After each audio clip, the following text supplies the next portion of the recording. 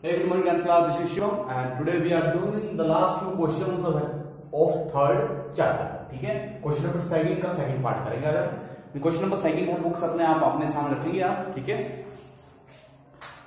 so second question is Two women and five men can together finish an embroidery work in four days, while three women and six men can finish it in three days.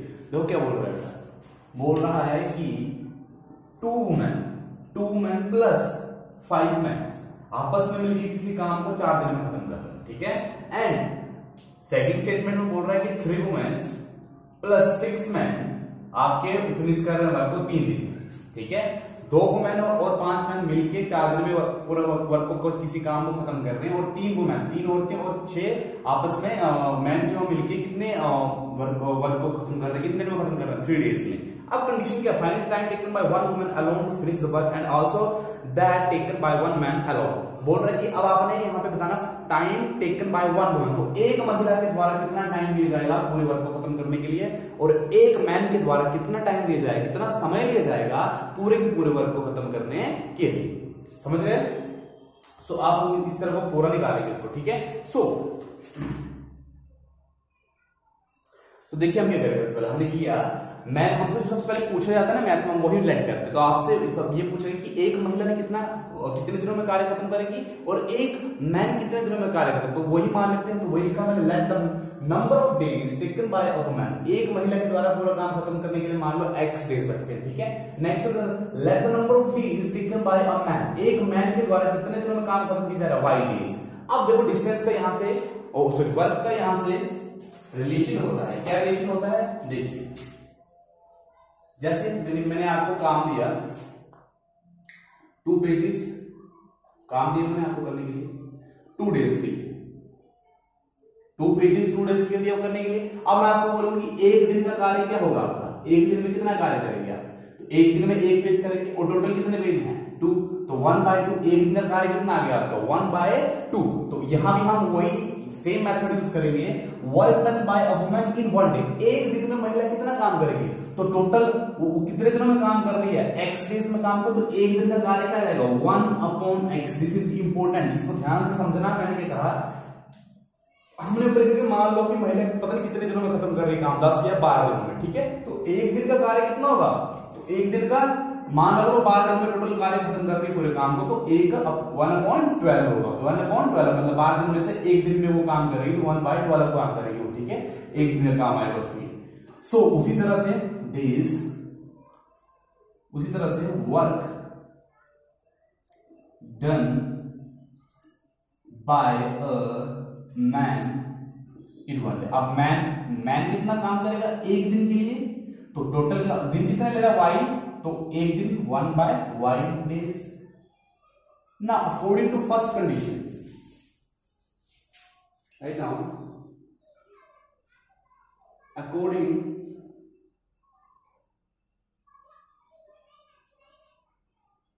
to first condition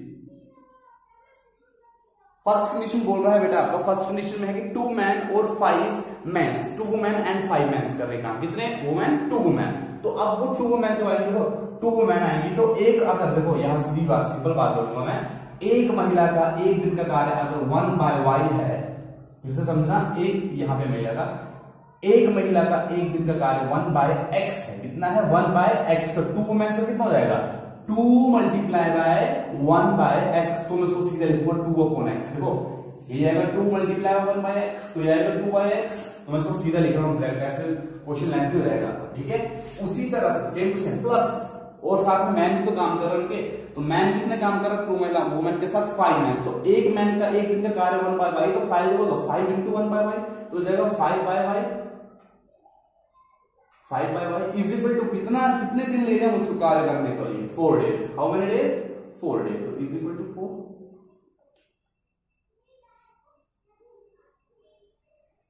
so say this equation number one according to second condition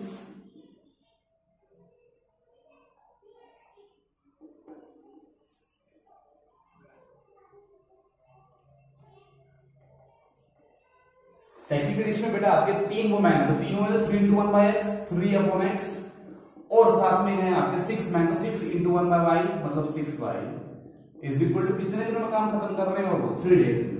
तो same this equation number two अब इसको solve करेंगे let कर लेंगे देखो one by X और one by Y so one by X इसको A equal और वन बाय वाई को B equal therefore equation one क्या हो जाएगी? आपकी अब मैं यहाँ से आपको उसका लिख देता हूँ। 2 multiplied by 1 by x.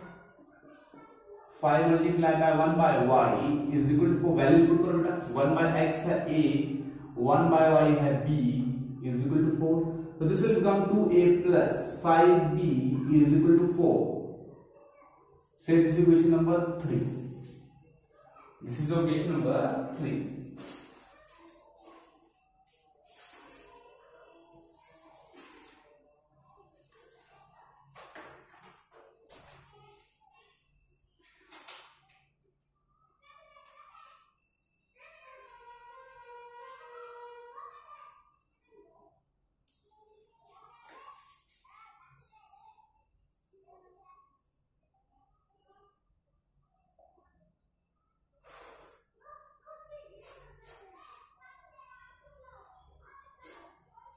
okay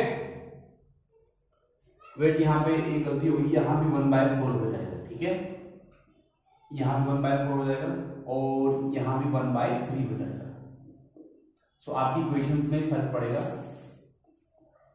यहाँ पे वन बाय फोर आएगा यहाँ भी वन बाय फोर आएगा एंड यहाँ भी वन बाय फोर आएगा। तो अब ये फोर की थर्ड इक्वेशन नहीं आएगी अभी। ये फोर मल्टीप्लाई सब सब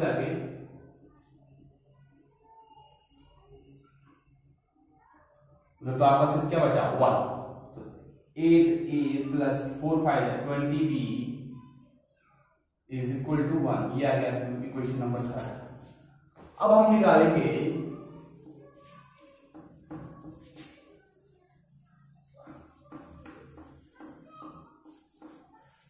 इक्वेशन टू लेंगे अब हम. Equation two imply equation two है three into one by X कर लेंगे. एक्सपेंड लिख लेंगे six into one by Y is equal to 1 by 3. So 1 by x a put कर लो 1 by y b put कर लो 1 by 3. So this will become 3a plus 6b is equal to 1 by 3. 3 यहाँ पे multiply हो जाएगा 3a left hand side right hand side division में था तो इस तरफ़ आके मल्टीप्लाई हो जाएगा 9a plus 3 6 18b is equal to 1. Say this is equation number 4.